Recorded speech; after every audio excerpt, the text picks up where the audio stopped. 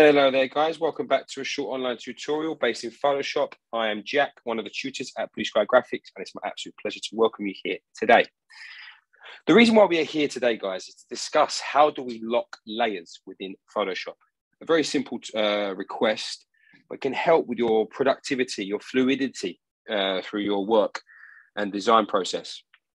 You may find as your designs become more uh, uh complex, the level of um, number of so the number of layers that you will possess will increase. So what you need to do is sometimes place things on certain on top of certain layers, and you may select something. So for example, here I have our curves one layer here and our logo layer here. So if I was to move this like so, I come here, may place on top, and then I move this. Okay, it can be quite annoying. So what you can do is you can lock layers to lock things into place. So then you won't have that problem of maybe selecting it and maybe moving it.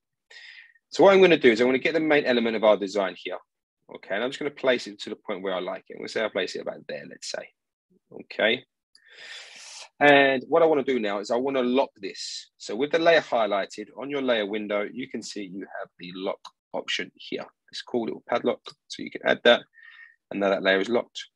So for example, if I was to go to our logo here and move this across, I don't have the worry of moving that element, the main element below, I can move this stress free. And that is how you lock layers within Photoshop, guys.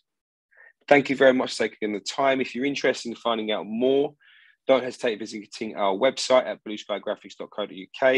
Check out our uh, Instagram as well, Blue Sky Graphics UK, for some of our amazing work by our students and hopefully we see you soon.